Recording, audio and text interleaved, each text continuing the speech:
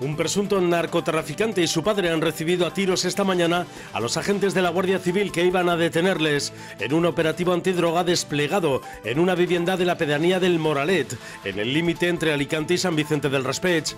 La intervención ha acabado con cuatro agentes heridos de bala por los disparos del presunto narcotraficante y de su padre. Uno de ellos ha recibido el impacto directo de un disparo en el brazo izquierdo y los otros tres por impacto tras el rebote de la munición que salía del arma, que presentan heridas en diferentes partes del cuerpo. Nada más llamar a la puerta a los agentes e identificarse como agentes de la Guardia Civil, el padre del presunto narcotraficante disparó con una escopeta de caza.